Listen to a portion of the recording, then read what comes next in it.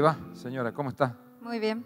Eh, bueno, quería dar testimonio que el 29 de noviembre eh, me recibí de especialista en psiquiatría. Yo ya soy médica, pero son cuatro años más. O sea, parte de tu carrera de medicina, cuatro años más. Sí, cuatro años de carrera eh, posgrado. Y bueno, el 29 legalmente soy psiquiatra en el Consejo de Médicos, así que muy feliz.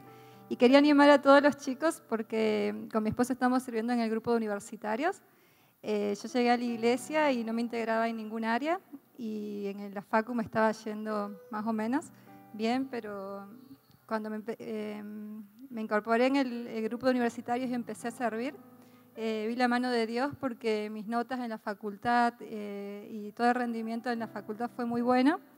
Y quiero dar testimonio también que durante los cuatro años de la especialidad, eh, cada año en uno de los centros formadores más importantes de Córdoba saqué el mejor promedio y sirviendo y viniendo a la iglesia. Así que se puede, ese mito de que no se puede. Se puede trabajar, se puede estudiar, porque yo estaba trabajando también, y se puede servir a Dios con excelencia. ¿Y estás casada? Y estoy casada, gracias a Dios. Con un buen hombre. Con un siervo de Dios. Extraordinario el muchacho. Muy bien. Hija, te felicito. Bien. Doctora, le voy a pedir un turno por la... Un aplauso a la psiquiatra, muy bien, ¿eh? qué espectacular.